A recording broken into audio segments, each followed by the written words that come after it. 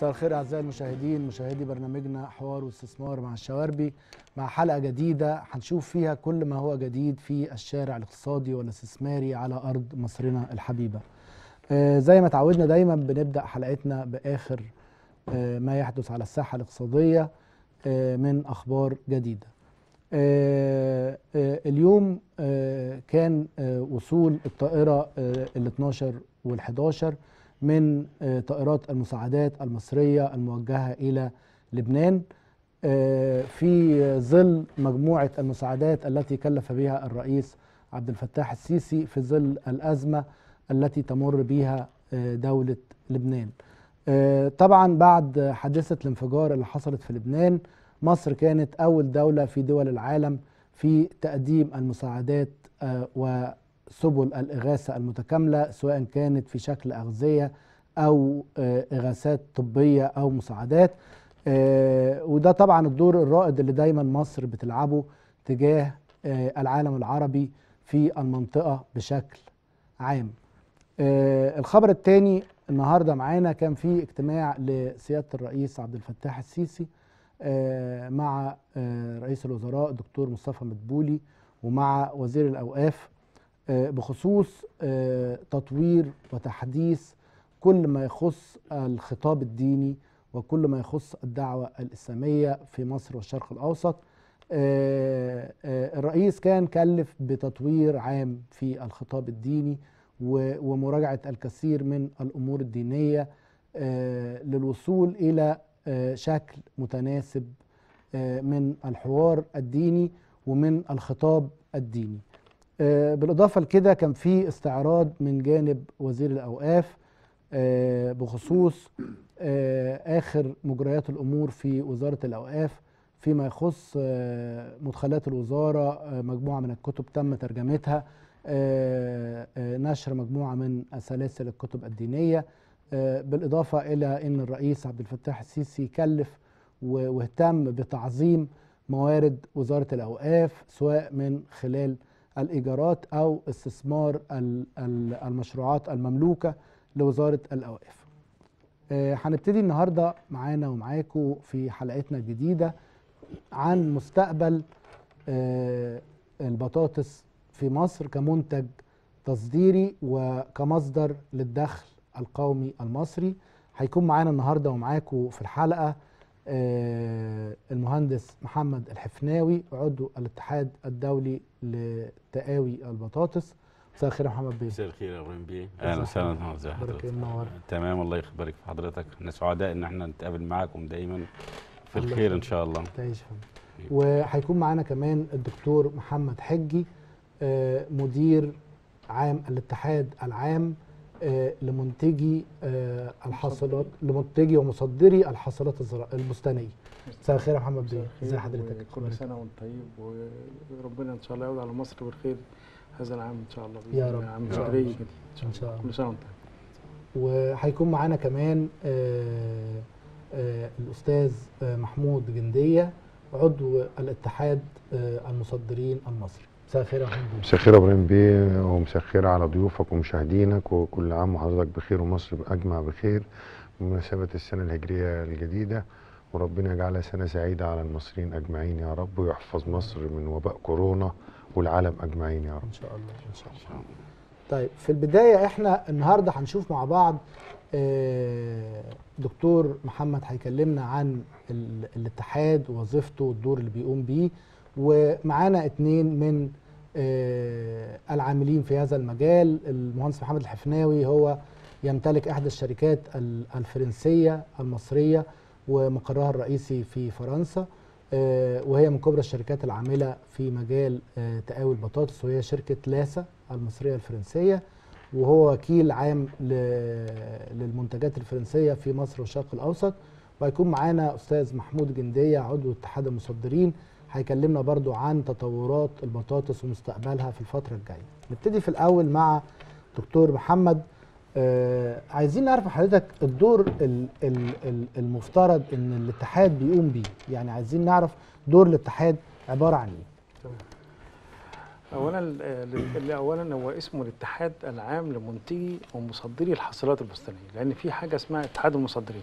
تمام. لكن إحنا اسمنا الاتحاد العام لمنتجي ومصدري الحاصلات البستانيه تمام. هذا ال- ال- الاتحاد أنشئ سنة 71 بقرار آه، من مجلس الوزراء آه، رقم 68 اتعمل له لائحة سنة 49 آه، لائحة تنفيذية سنة 76 بعد كده اتعمل لها اتغيرت هذه اللائحة بقى رقمها 158 لسنة 87 تمام.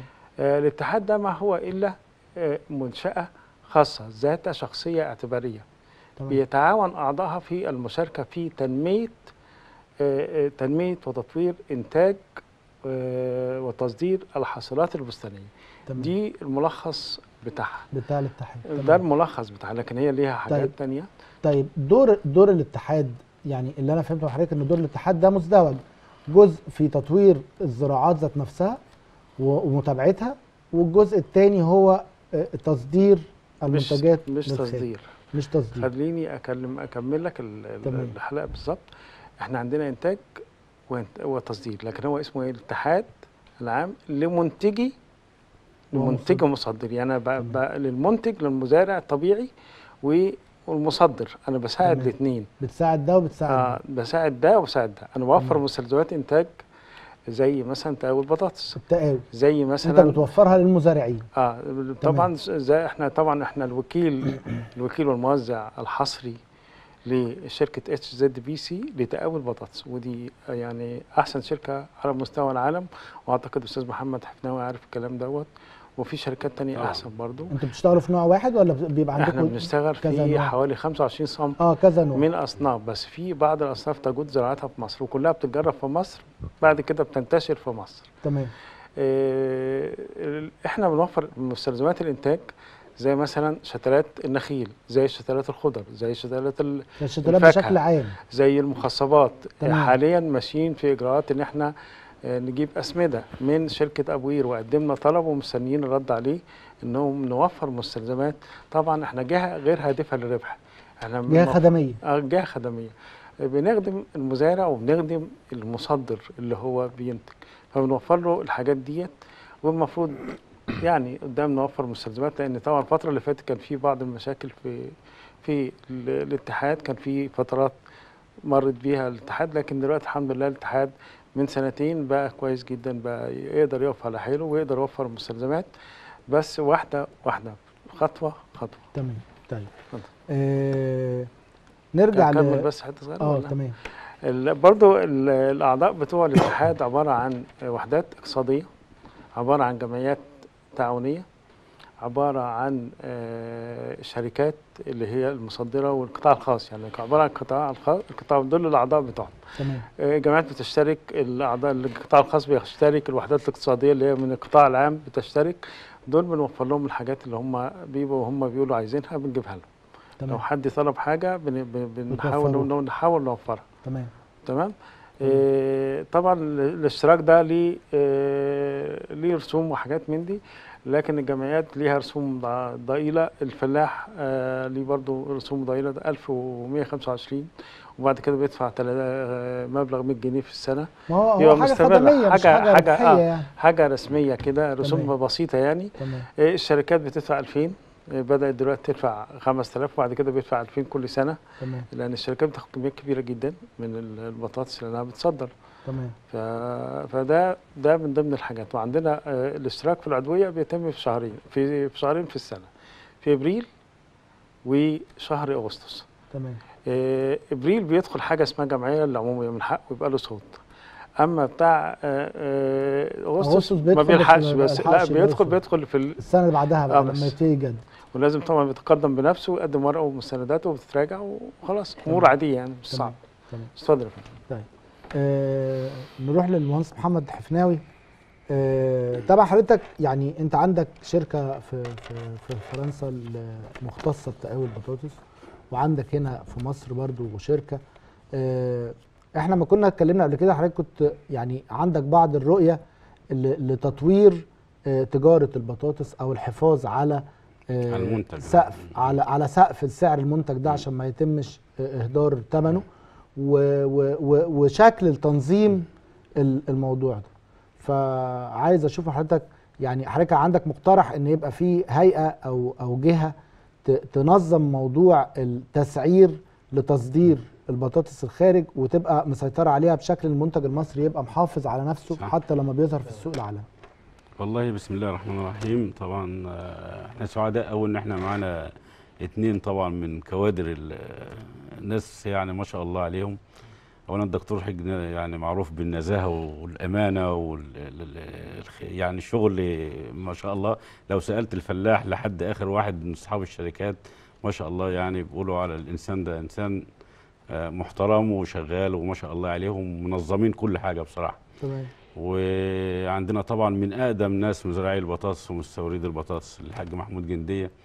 وراثة من من أجل طبعا من, أجداد. آه من الأجداد معروفين طبعا في منطقة ال- الغربية وطبعا آه، إحنا سعداء إن إحنا التقينا بهم وبنشكر طبعا البرنامج اللي بتحن بت دايما يتيح لنا الفرصة إن إحنا نتكلم كلنا في مصلحة البلد دي. تمام. فإحنا طبعا أول حاجة بنشكر كل الناس اللي بتساهم في آه، رفع اسم مصر فوق الجميع. تمام. لأن إحنا في طبعا في, ال- في الوقت اللي إحنا فيه عندنا حكومة طبعا آه، من اول طبعا سيادة الرئيس لحد آخر حاجة في الحكومة كل الناس بتشتغل وكل الناس غيرت معالم الدولة من مكان ما كنا بنستورد وبتستهلك لدلوقتي. إحنا بنزرع وبنصدر وبنحارب دلوقتي ده إحنا كمان بننادي عشان نصدر أكتر. يعني آه، بقى أيوة، عندنا إحنا- منتج عايزين نخرجه إحنا قاعدين هنا عشان نعمل إيه؟ عشان عندنا نفتح منتج سوق تسويق ونفتح ل- سوق. ل- ل- المنتج المصري اللي بقى متوفر. يعني العملية يعني- العملية بقت بالعكس شوية. فإحنا دلوقتي بن بنتكلم في حاجة ما كناش نتوقع إن إحنا نوصل لها. تمام. وصلنا لها بسرعة ما شاء الله أنت يعني بتحارب دلوقتي في في مجال التصدير والسلع تنافس في الأسواق العالمية. في في الأسواق العالمية بقت معروفة. مصر مثلا إيه الكرتونة صنع مصر مصر مثلا من جميع الأنواع. مش هنتكلم على البطاطس بس طبعا إيه مع الحصر جميع جميع, المنتجات. المنتجات ال- ال- في مصر من صناعة بقى لزراعة لكله. فطبعا ده كله يرجع لايه لمنظومة كبيرة. ماسكها مثلا آه، رئيس جمهورية محترم جدا بيتفاعل مع الأمور بشكل آه، طبعا آه، غير عادي. لأن إحنا في الوقت اللي إحنا فيه ده طبعا ك ك كإنسان عايشين في كعايش في أوروبا مثلا أو لمس الاقتصاد في العالم آه، العالم كله معلش أنا آسف يعني أنا أربع شهور في فرنسا كنا عندنا الحظر بسبب موضوع كورونا وكده الاقتصاد في العالم كله في دول انهار. دول دور كبيرة انهار لا إحنا قدروا إن هم من خلال ال- ال- المنظومة من خلال الاحتياط الاستراتيجي اللي كان معمول ان إحنا نعدي الازمه وما يحصلش عندنا اي دروب فعشان كده ونقدر ما- نمشي ما- الأمور جنب بعض يعني. أنا ما نزلت مصر ما كنتش متخيل. أنا تخيلت إن إحنا يعني معلش إحنا دوله برضو آه يعني في دول آه، طبعا يعني اقتصادها عالي جدا وإحنا اقتصادنا طبعا بس بنسبة إن أنت عايش في الأيام دي والناس ما شاء الله يعني عندها كفايتها.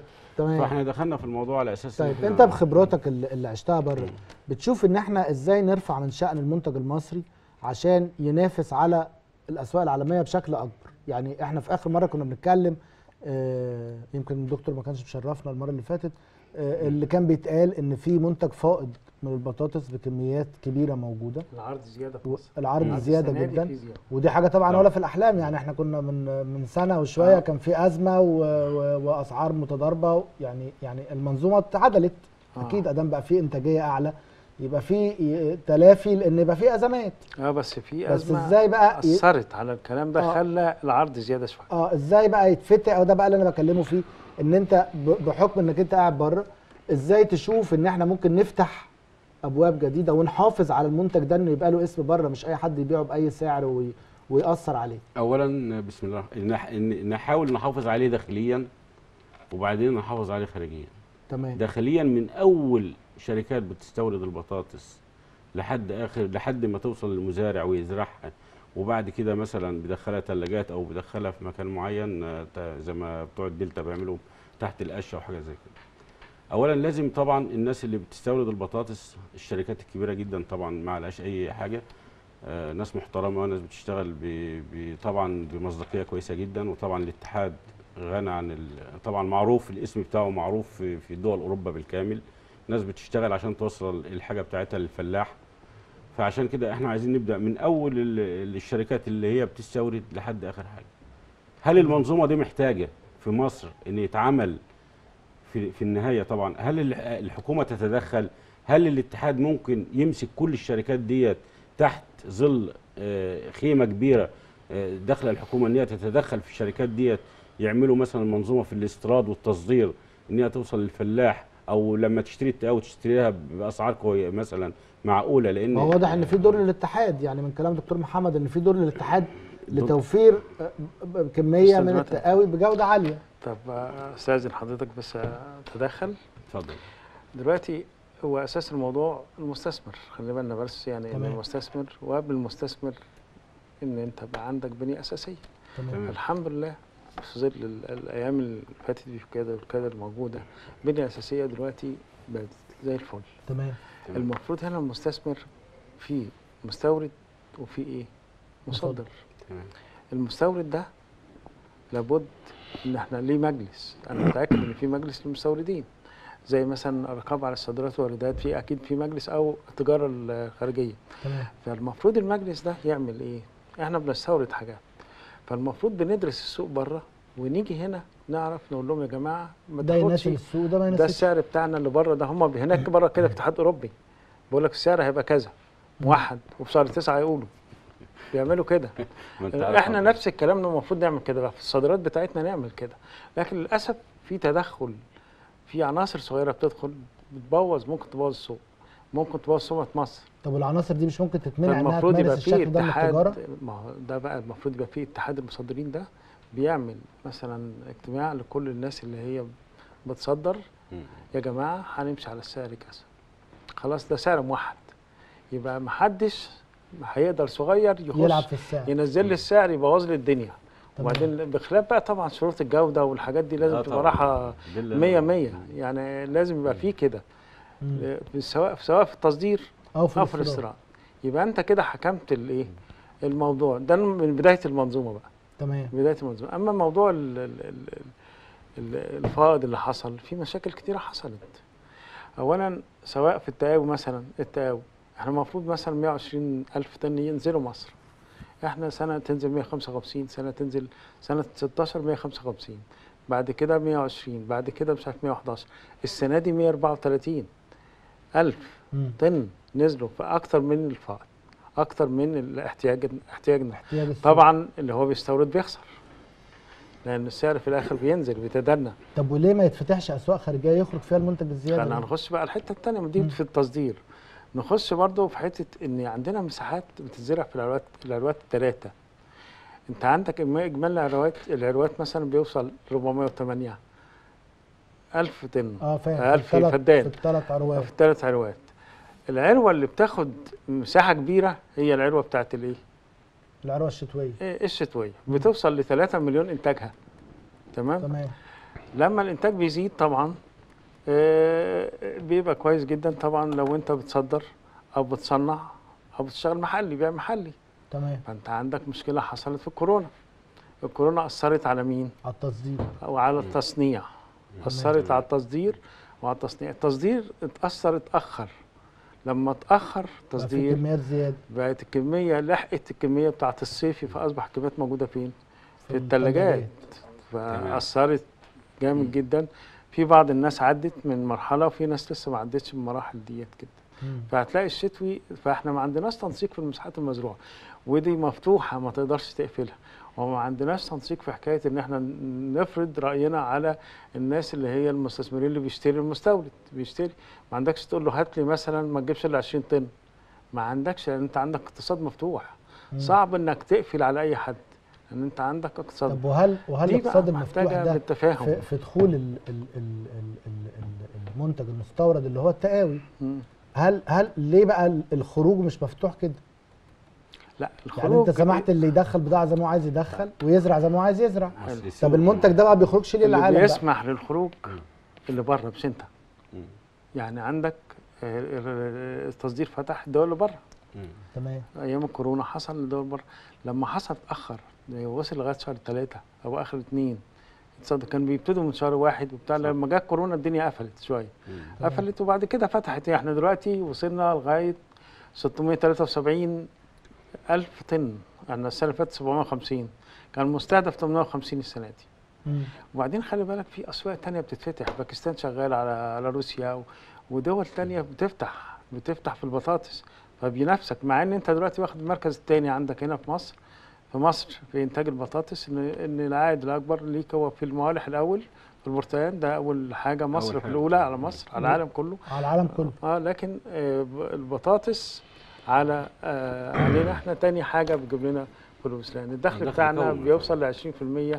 من القطاع الزراعي تمام منهم شتلات ومنهم بصل ومنهم جميع أنواع الحاجات بس أكتر حاجة البطاطس والموالح هم دول اللي مدخلين آه، عاملين مركز المنتج مركز آه، المصري في قيمة. مالية كويسة جدا بتساهم في الاحتياطي بتاعنا وبتساهم في. كل حاجة طبعا طيب أستاذ محمود حضرتك شايف يعني بحكم إن أنت جوه المهنة دي برضو يعني إحنا بنتناقش عشان نوصل لحل إن في ناس كتير بيشتكوا إن في منتج فائض زي ما الدكتور محمد بيقول وزي المهندس محمد حفناوي بيقول. آه، إيه الحلول اللي ممكن تعمل حل للمنتج الزايد ده؟ وإنها بعد كده تتلاشى إن ده يحصل إن يبقى عندي منتج زايد يبقى عندي له طلب خارجي يعني أعرف أصدره أو أعرف أخرجه أو اعرف أستثمره. مش معقول إن يبقى الناس عندها بتشتكي من قلة المنتجات وإحنا نبقى بنشتكي من كثرة المنتج ودي حاجة غريبة يعني. تمام. هو بسم الله الرحمن الرحيم. اولا المنظومة عايزة آه، ضبط بمعنى النهارده أنا راجل في شركات بتستورد تقاوي والاتحاد بيستورد تقاوي. النهارده يا إبراهيم بيه المشكلة إن أنت حضرتك من أول التقاوي الكميات اللي بتخش اوريدي كتير. تمام. فالمساحات اللي بتنزرع كتير. تمام. فالمنتج كتير. فتقف فينا بقى. أنا راجل النهارده بخش أقدم طلب عشان أجيب تقاوي أستورد تقاوي. المفروض أبص الأول للشركات القديمة في الاستيراد التقاوي. صعب وهي تاخد مم. التقاوي وتخلي الكميات محدودة بمعنى إيه النهارده الاتحاد بيجيب مثلا 10000 طن تمام يبقى الاتحاد معروف وال وال والصنف بتاعه مطلوب ومعروف في نقطة- إنتاجيته في نقطة أنا عايز ألفت ما أنا نظرك هقول. لحضرتك في أهو. نقطة أنا عايز ألفت نظرك ما أنا هقول. لحضرتك في أنا هقول لحضرتك. اتفضل إحنا ممكن نقول إن هم يحجموا الناس اللي بتستورد تقاوي تمام في حالة إن إحنا كنا نقول إن الراجل المنتج أو المزارع بيشتكي إن في تقاوي وحشة ما طلعتلوش إنتاجية كويسة. أنا جاي لحضرتك لكن ده كله. مطلع إنتاجية عالية لدرجة إن هو مش عارف يودي المحصول أنا فين. ما أنا هقول لحضرتك أهو. ممكن أقول أنا هقول لحضرتك أهو. بعد إذنك. بعد إذنك يا. محمد بيه. أنا بس هقول لك صح. على حاجة. بص صح يا. دكتور. آه اتفضل. الحتة اللي أنت بتتكلم عليها بس ده استيراد. إحنا بنتكلم على جزئيه أنت كان بيتكلم على التصدير وإنك إزاي يعني الفائض ده تصدره. لكن إحنا بنتكلم عن الاستيراد دلوقتي. استوردنا كميات كبيره اللي بيتأذي فيها المستورد أكتر. تمام. مش الفلاح عشان حضرتك تبقى عارف يعني. ف. فالكميه المطلوبة مصر في التصدير. 80000 طن. ثانية اهو بيخش لك مصر 140000 طن. أنت عندك مشكلة. حصلت أثناء ما هو. ده اللي هيتضر فيها زي ما محمد بيقول لك المستورد. ما هو ال 140000 طن انزرعوا. والمحصول الشتوي دخل عليه المحصول الصيفي. ما قصدي. الدكتور حجي ما هو برضه نفسه بيتكلم فأنا بتكلم يعني دلوقتي في حاجة حضرتك لازم من إعادة ترتيب استيراد التقاوي ده رقم واحد. ماشي. يبقى اللي يخش مصر احتياجات ال 80000 طن. ما يخشش لا مؤاخذة. يبقى عندك الاتحاد الشركات الكبيرة في 3 4 5 شركات معروفين لدى المنتجين والمزارعين في مصر وأصنافهم معروفة. النهارده المستوردين اللي هم الصغيرين اللي بيروحوا يجيبوا أصناف ملهاش هوية هي دي اللي بتعمل الكارثة. ما هي مش دي اللي عاملة الكارثة. لا دي اللي عاملة لا الكارثة. إحنا التقاوي النهارده داخلة زيادة بنتكلم يا فندم تمام. إحنا ما بنتكلمش على سوق في التقاوي. إحنا بنتكلم عن إن بقى عندنا بضاعة كتير. ما هو انت عندك نعمل بضاعة لها يعني حل. إيه؟ أنا اللي بقول لك يا عليه هو فين بيه، الحل؟ عندك بضاعة يا كتير من إيه؟ يا فندم هو- تمام. هي- هو فين بقى الحل لخروج البضاعة دي؟ هو ده اللي إحنا بنناقشه. ما ما هو نناقشه. فتح أنت أسواق في الخارج. فتح أسواق في الخارج. إزاي بقى؟ هو ده اللي إحنا بنتكلم إزاي بقى ما فيه. إحنا بنتكلم قنصل في مثلا كل. سفارة فيها قنصل تجاري. ملحق. ملحق تجاري. تمام. المفروض الملحق التجاري ده حضرتك يبقى في الدول اللي بتاخد البطاطس من مصر في ملحق تجاري يعمل زي نظام جمعية. تمام. ويبقى السعر كل المصدرين بتشحن بضاعة زي ما الدكتور حجي تفضل الدكتور وقال. حاج كان بيقول يعمل سعر. السعر موحد. إنما النهارده يا إبراهيم بيه كله بيصدر وبيطلع بضاعة وبيضربوا بعض وبيحاربوا بعض طب بره ما هو مش عارفين يطلعوا اهو كمان. وبالتالي لا يا بيه ما هو أنت مش عارف يطلع ليه؟ لأن أصلا لسه في بضاعة بره في الثلاجات بره في الخارج. في الخارج. بضاعة مصرية بره لسه. ما اتصرفتش. ما اتصرفتش. ده كارثة. ده في كارثة في مصر بسبب قلة بيعه المحصول. ثلاجات حضرتك مليانة. الناس هتبيع أملاكها ومش هتكفي الخسائر ماشي ما لازم ده بسبب القيادة السياسية طب ما ده. بسبب اللي لا طبعا ده بسبب اللي كان الدكتور حاج بيقوله. إن مفيش وعي في التعامل مع المنتج. هو أي حد عايز بيجيب وبينتج رجعنا يعني وبعدين هتودي منتج يا فين؟ السنة دي سنة خاصة خالص. السنة دي كتير. يا إبراهيم بيه الناس السنة دي سنة خاصة خالص. عشان ليه؟ عشان إحنا عندنا حاجة اسمها ظروف غير طبيعيه إحنا بقى اللي. بنقوله نتلافى ده في. السنة الجاية إزاي في العالم كله على طبعا. فكرة ده أثر على العالم ده هناك في. هولندا بيرموا البطاطس أنا كلمت لك في في لكن إحنا عندنا إحنا مشكلة أحسن التصنيع بتاعك اللي- من التصنيع أحسن الدول في. في لسه ماسكين نفسنا في دول يا حاج يا في محمد بلجيكا رمي يا حاج محمود أنا أقول لك حضرتك على حاجة يا محمد. عندي يا حاج أنا عندي صور إن هم رامين البطاطس في بلجيكا بتاع الأكل أيوة، وهولندا هو هولندا، آه. جت بسبب بسبب الكورونا ال- إحنا بنتكلم مش عشان تستورد البطاطس عشان. اللي جاي بقى. انت السنة دي ممكن تكون عشان تد... الح- الحياة الاقتصادية ربنا كورونا إنما بعد العالمية. كده السوق بتاعك ممكن ي- يا يستوعب أستاذ إبراهيم الم- أنا عايز أقول لك حاجة بس اتفضل. عشان بس أكمل لك الحتة اللي انت انت أنا. هوصل للكلام بتاعك اتفضل اتفضل حضرتك هي القضية كلها إن إحنا عندنا كان عندنا كورونا فنادق وقفت المطاعم وقفت الاستهلاك قل. طب هيشتغل أصبح إزاي؟ عندك لسه إيه؟ مش. بالسرعة العادية. اشتغلت أصبح عندك فقد تمام. صح ولا ما صح صح كده. ده على مستوى العالم مش على. عندك بس بصوره عامه عالميه مش عامة. عندك أنت بالذات طب هتعمل إيه في الح... في حاجة زي دي؟ تمام. يا إما بتزرع خدت أنت الكمية اللي أنت طلعتها بتزرعها كتاوي أو دلوقتي الدنيا بدأت تفتح فنادق فتحت المطاعم فتحت فبدأ الاستهلاك يتاخد. بدليل إن السعر وصل ل 2800 ما هو 2800 2800 آه ما كان كان كان 100 يا حاج محمود، 1800 يا- محمد يا يعني- دكتور حج ممكن سؤال بعد إذن حضرتك؟ معلش. تمام. أنا آسف يعني. هل السنة دي نقدر نقيسها بمقياس السنين أو الأيام؟ لا ده أسواق. لا ده دي حاجة آه، ده حاجة سنة مناخ. طبعا. مناخ زي أوروبا. بنتكلم زي ما حضرتك أوروبا حصل فيها طبعا. من سنتين أو سنة واحدة حصل فيها سنة. إيه؟ آه طبعا جفاف 30% 30% و40% والسنة دي. كلها في الإنتاج. آه، نقص في. الإنتاج خسائر. طبعا. السنة دي عشان ما فيش توزيع وما فيش بيع وما فيش مطاعم. فحتى مع الجفاف ما حسش بالاذى السنة دي جايبين عندهم جفاف يوصل يعني 10% بكتير قوي لأنه في بداية الإنتاج. هم يعني مبلغيني إنه في بداية ده الإنتاج. الكلام ده أيوة، بره بره بره. لا أيوة. ما هم بيخسروا زيك ما هو زيهم. كله بيخسر. كله. بيعوم هي واحدة. منظومة. أيوة. برضو أنا مش هيستورد. بس أنا بتكلم موافق حضرتك حضرتك في عندك حاجة مشكلة بيروت. إحنا موافق حضرتك في حاجة إحنا هنا عشان خاطر ان إحنا نعمل نشوف ال- المنتج ده عايزين نصدره عايزين نشتغل كلنا إزاي ايد واحدة نفتح أسواق نفتح بره أسواق في ونطلع الدول المنتجات الاوروبيه خلي بالك أنت لو بتصدر و- أنت لو سوق التصدير عندك مفتوح ما هو أنا بقول ما لك كانش هيحصل عندك الأزمة دي يا أصلا ما هو في ما إيه كنتش بقى؟ هتقول ما ده مين اللي زرع ما هو ومين اللي سوق عمل البطاطس عندك ما سوق البطاطس عندك واقف بره ليه؟ هو فاتح بس مش فاتح؟ يا لا حاج مش فاتح عشان. الكورونا ما هو ما فيش برضه. مدارس ما فيش آه، مطاعم ما فيش آه، في بس المشكلة إن. إحنا بنحارب بعض بره لا سيبنا مرحله نحارب بعد بره إحنا بنتكلم عليه إن هو السوق حتى بره بنحارب يبقى أنت في. تصدير ما فيش لا، ما تصدير. بيسحبش اللي تصدير. أنت محتاجه. فاهم. قصدي؟ ما طب بيسحبش. وضحها لنا وضحها لنا. وضحها اتفضل حضرتك. أنا النهارده حضرتك روسيا مثلا. أكبر دولة بتاخد من مصر بطاطس. الخليج. ممكن تاخد من باكستان.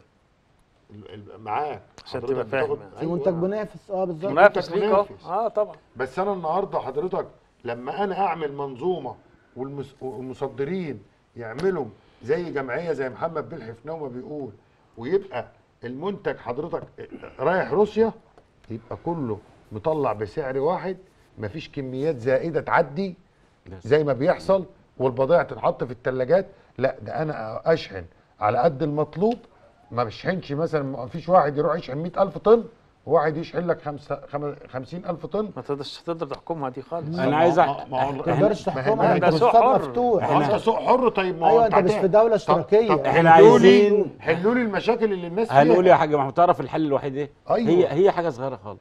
هي حاجة صغيرة خالص. ولازم طبعا ال- ال- المسؤولين في الحاجة دي تتدخل يمنعوا العمولة في الأسواق الأوروبية طب ما أنا والأسواق بقول العربية. العمولة. لا لا هو بيتكلم عن طريقة البيع بقى ذات نفسها. أيوه هناك إن يا أستاذنا طول ما العمولة. شغالة في مصر هي الدولة الوحيدة اللي بتشتغل بالعمولة لحد دلوقتي مصر. طب إيه الحل من دلوقتي في الدخل اللي في مصر فيها في يعني إيه؟ عمولة؟ يعني إيه عمولة؟ إن أنت بت بت بتحط أدنى سعر للمنتج بتاعك. أنت تعبان فيه وعامل ممكن يتباع أقل من السوق المحلي على فكرة.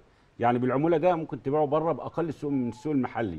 تخيل بقى إن هم بيخرجوه طبعا تحت إطار العرض والطلب طبعا مش متباع أنا أنا واخد نسبتي وحاططها في جيبي وأنت وهو مش ما أنا متباع. بقول أهو اللي بيز- بيشحن بتحضر 100000 الحاجة طن دي. و50000 طب ما طن ده ما بيبيعش يا حاج. محمود ما بيبيع. إحنا عايزين حاجة بس تعرف. لو منعت لو منعت الحاجة ديت يعني آه عملنا مثلا اللي هيصدر بطاطس يبقى كله سعر واحد وسعر السوبر ماركتات بعقودات والعقد طبعا من بنك لبنك على أساس تحويلات. تحويلات البنك يروح للبنك نفسه الكيلو اللي بيطلع يعني مفيش حاجة تخرج. من مصر غير ما يبقى لها تحويل. بس يا إبراهيم مفيش حاجة اسمها أنا ابعت بضاعة لمحمد بيه ده. هناك. إيه. الحل بقى؟ حضراتكم؟ هتحافظ على كل شيء. إيه الحل على العملة. دلوقتي؟ انت في هتخش العملة الكارثه هتخش اللي البلد. في الكارثة اللي فيها الشركات وفيها المفروض الصح في كارثة. إن الناس الكبار اللي بتشتغل في المهنة دي تعمل اتحاد للمصدرين بالتنسيق مع الدولة والاتحاد آه. ده يبقى وظيفته هو السيطرة على التصدير للخارج أنا ما دلوقتي بتكلم. أنا بتكلم دلوقتي في كارثة واقع فيها الشركات وواقع فيها ما يوقع التجار بيها الشركات ليه بقى عشان اللي كان بيقوله الدكتور ما حضرتك لما نركب الكلام على بعضه طبعا هتوصل للسبب زي ما الدكتور بيقول لك إحنا ما نقدرش نتحكم في ال- ال- التقاوي اللي سطح تدخل حر. من بره عشان تتزرع ما هو لازم ولا أقدر أتحكم في. المنتج خلاص آه، ساعات- وهو ذات نفسه بيقول لك اللي بيخسر في البداية هو المستورد بتاع التقاوي. ما هو لازم- لأن ما بيفضل هو لازم- عنده هو ذات نفسه ما هو لازم كميات يبقى في وقفة. ما بتتباعش. لازم يبقى في وقفة إن اللي دخل. بص بص هقول لحضرتك على حاجة. أي سوق في الأسواق الاقتصادية العالمية لأي منتج لو أصحاب المهنة مش عاملين اتحاد أو. هيئة أو جهة بتنظم المنظومة. دي عشان يحافظوا على تجارتهم كويس. اللي بيحصل إيه؟ في الآخر إن. السوق إن السوق بينظف نفسه. هو اللي هيعافر معاك ده هيبعت 100000 طن اللي حضرتك النهارده مضايقك ده. هيخرجوا قد إيه؟ سنة هيتذبح الثانية هيبطل. هيخرج بره المهنه لانها. مش مهنته. ما ما. بيبطلش. ليه؟ ما بيبطلش غير في حالة واحدة. ودي نقطة أنا كنت اتكلمت فيها وكان عندي تحفظ مش عايز اقولها إن ممكن البطاطس دي تحول إلى شكل من أشكال تهريب الفلوس بره مصر. إن هو النهارده بيخرج البضاعة من غير ما يبقى فيه تحويل في البنك. هو بيبعت بضاعة بره مفيش قدامها مقابل في البنك هنا. يبقى الفلوس دي خرجت بره البلد بدون سيطرة وبدون رقابة. أنا برضو دلوقتي صح يا محمد بيه ولا. غلط؟ يعني ده. النهارده انت خرجت بضاعة ثمنها 100000 دولار تمام؟ من المواني المصرية. البضاعة دي فين فلوسها؟ رايحة هناك عشان تتوزع وتتباع؟ وخلي بالك طب وما تتوزع وتتباع؟ انت قلت انها اتباعت بخمس ب 5000 دولار. أنا صدقك. ما هي العمولة بقى هي كده. إبراهيم بيه. ما هي خسائر العمولة هي بقى في بيه. بس. ما هي دي خسائر العمولة يا. جماعة أنا بتكلم في كارثة إن دي هتأثر على التقاوي. البضائع اللي في الثلاجات دي كارثة كارثة كارثة. المفروض يتدخل وزير على الزراعة. ووزير التجارة. ووزير التموين أيوة، يعملوا سعر يسعروا سعر عادل للناس اللي بتخسر دي. ما تقدرش تعمل سعر إجباري. كده. ده- سوق تعمل سعر عرض إزاي؟ وطلب. هذه هو انت عرض وطلب أنا عايز. اسألك سؤال. يعني محمد بيه يعني أنا النهارده كيلو السكر ما هو متسعر كيلو الرز ما هو متسعر. أيوه عشان ده منتج سلع. أيوه اصل ده منتج وبعدين سلع ده منتج سلع-. معلش يا جماعة ما هو ده طب أنا عايزكم دلوقتي تحلوا لي الكارثة اللي فيها الناس دي. كويس. الكارثة حضرتك اللي فيها الناس دي آه. محتاجة إن ان, إن إحنا كنا اتكلمنا المرة اللي فاتت. إن المفروض الناس المنتجين يعملوا من داخلهم شركة للنقل وهم اللي يودوا حاجتهم الأسواق. لأن السماسرة اللي في النص هم اللي بياخدوا بي- الفرق ده كله. آه. يعني النهارده حضرتك كيلو بطاطس على الأرض بكام؟ في باب الثلاجه لا على الأرض. ما هو باب الثلاجه من باب الثلاجه ما هو مفيش أرض بقى ما هو ثلاجه دلوقتي. ماشي. التلاجة. آه آه. هي هي. يعني متكلف على المزارع أو صاحب الشركة 3000 ونص بينباع ب 2 ونص. حلو قوي بضاعة الشتوي اللي في. الثلاجات في ال- في المستهلك بقى بيتباع بكام؟ بينباع ب 5 جنيه ما أنا قلت الحلقة اللي فاتت. يعني 100% قلت ال 100% دي حضرتك المرة اللي فاتت قلت دي راحة للراجل بتاع الكفة. هو لا أيوة. طبعا. دي راحة لسه مصر اللي في النص. مفيش سماسرة بقى حضرتك. ليه حضرتك؟ هو بياع التلاجة- حضرتك. الراجل بتاع الثلاجه ده بيودي البطاطس بتاعته دي فين؟ سوق العبور. سوق العبور. حلو. سوق العبور بيديها لمين؟ بيديها لبياع الكف كويس. من بين بت- بقى؟ من بين بتطلع سوق من العبور. بتطلع بقى من سوق العبور بكام؟ حضر... بتطلع ب 3 جنيه يعني من سوق العبور لحد ما توصل لل- للمنتج اللي بتاع الكفة ب 3 جنيه. ب 2 جنيه؟ ب 3 2 جنيه. جنيه فرق مكسب؟ آه بياع الكفة بياخد 2 جنيه. وأنا قلت الحلقة اللي فاتت المستفيد بياع الكفه كاتب على كيلو البطاطس 5 جنيه. ما طبيعي هيبقى مستفيد بتبيع الكفه والمستورد كبير. بيصدر بيكسب. كبير. طب وهو المست... المص... في حاله التصدير بقى. هي بتتباع بكام؟ بياخدها بنفس السعر أو أقل لا شوية. يعني في حالة التصدير المفروض يبقى ثمنها كام النهارده النهارده أنا لو لو في لو مطلوب. مني تصدير هبيع ظهر الكونتر ب 4000 جنيه. 4000 جنيه. آه. أنا النهارده لو عندي ط- طلبية مش أقل من 4000 جنيه. طيب. وفي طريقة البيع بقى اللي محمد بيه بيقولها دي تقف بكام؟ طريقة البيع اللي هي بالعمولة. آه لا تقعد العمولة ده؟ لا ده بقول له هات لي. ابعت لي بقول له إيه؟ ابعت لي. آه. لا لا بقول له ابعت لي. وبعدين أنا أبيع. طب الحاجة اما بتوصل بقول له لا ده السعر مثلا بقى 100 دولار.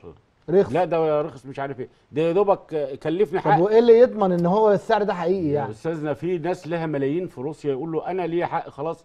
البطاطس خرجت وزرعت وحصل فيها مشاكل أيوة دي حقيقة. وحصل فيها مش عارف إيه الحاج محمود يقول لي من سنتين في ناس سايبة ملايين الدولارات حصل. في روسيا حصل. ما فيش حد بيدور على حق الناس في روسيا برضه وهم نفسهم مش عارف يعملوا إيه نفسهم. والسنة دي حضرتك في التقاوي أيوه يعني أنت حضرتك يا محمد هو اللي بيبيع بالعمولة يا محمد بيه يا محمد بيه أنت أنت عارف حضرتك سوق النهارده؟ في سوق التقاوي اللي خلص ده سوق بيعمل ده. كده. أنت ليك فلوس إيه بره في السوق حجم خسائرك كام 25 مليون بس وليك ولسه ليك ف...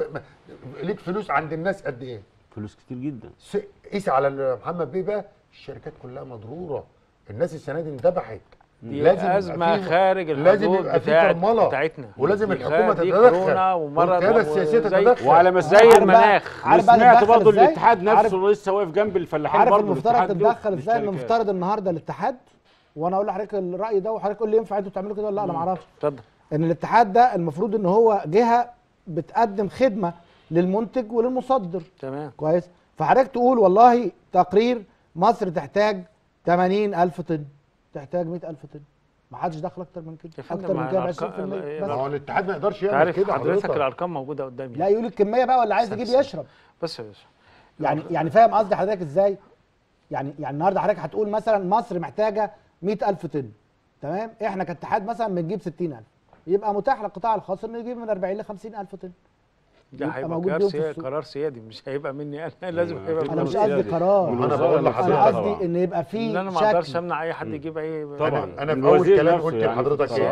قلت لك الشركات. الكبيرة اللي هي آه،. معروفة من- مش من- مش من في 40 جهه سيادية و50 للحاجة. دي يعني هي طب المفروض- وهي إيه الجهة اللي مفترض تقول الكمية اللي تدخل البلد هي قرار سيادي ده زي ما قلت لك حضرتك ده اقتصاد حر. ما أقدرش يا فندم أنا فاهم. أنا. بسال طب ليه يعني ما مثلاً- بتعملش الدورة الزراعية؟ حضرتك ليه ما بتعملش الدورة الزراعيه يعني إحنا مثلا أسأل عليك ما. خلاص الدولة سابت اللي عايز يزرع يزرع. كنا بنستورد آه، فوانيس تمام، رمضان صح كده الأول فيه. ب- بمئات الملايين. تمام؟ لما بقى في وعي في القيادة السياسية و... و... وقال لك مفيش استيراد لنوعية معينة من الحاجات خلاص ما بقتش بتستورد.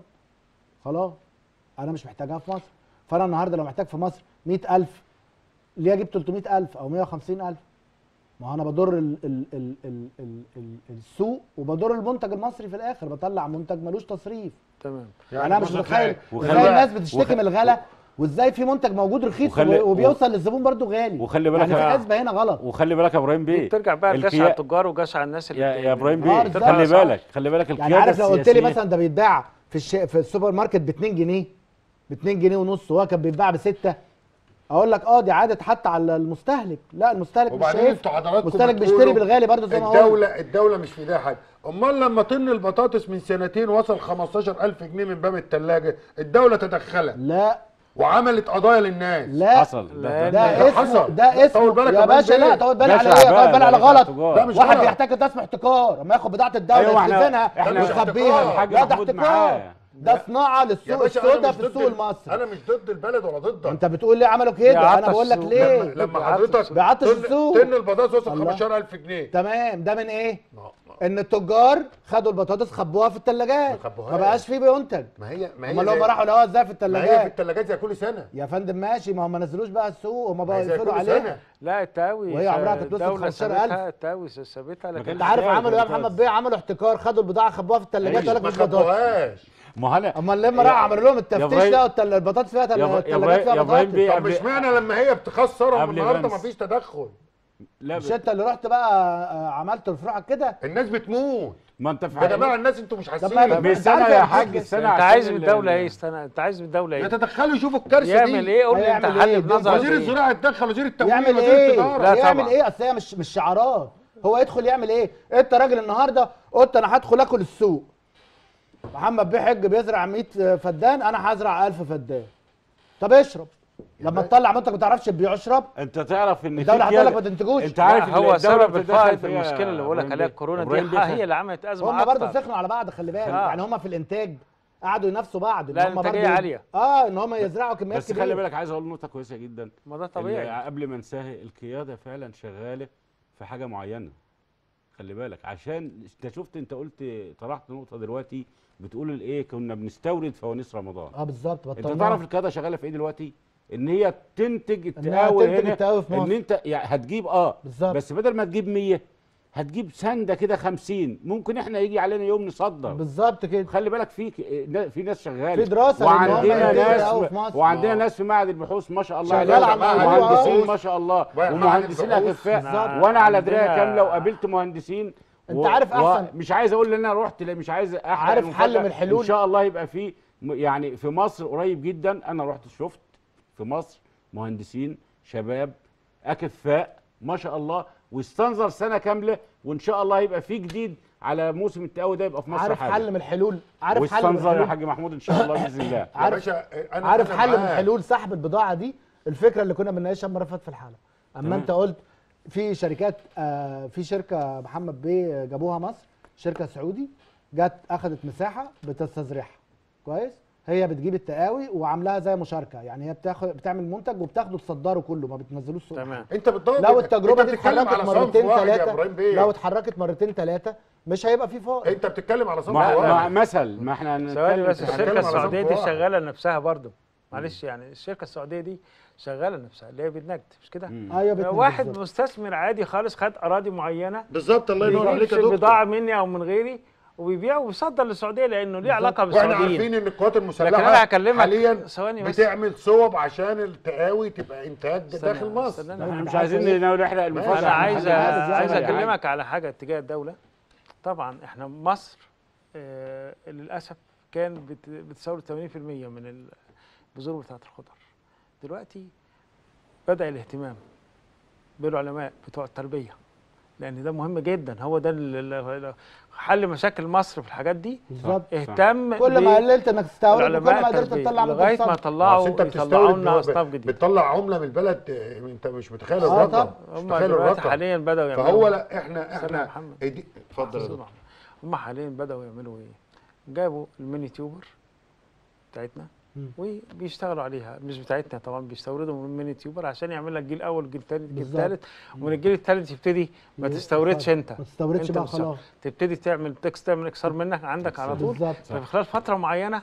هتقدر توفر. مثلا 30% من بعض الأصناف المهمة. بالظبط.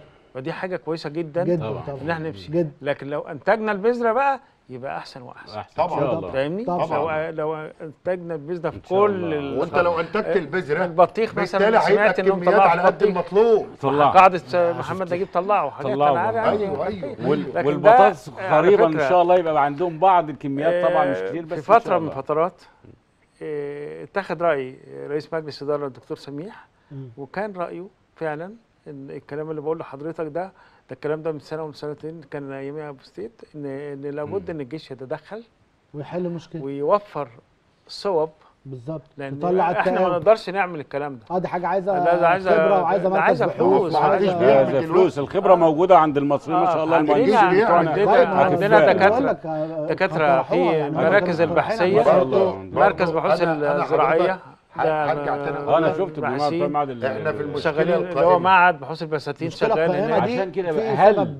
نقدر نساعد؟ يعني أنا برضو نفس الطريقة بطرح السؤال على حضرتك. أنا ممكن أجيب مثلا معهد البحوث بتاع أوروبا ناس هنا تيجي تشوف معهد البحوث بتاعنا هنا في مصر وناخد برضو مهندسين أكفاء من هنا لزيارة في معهد البحوث هناك في في فرنسا.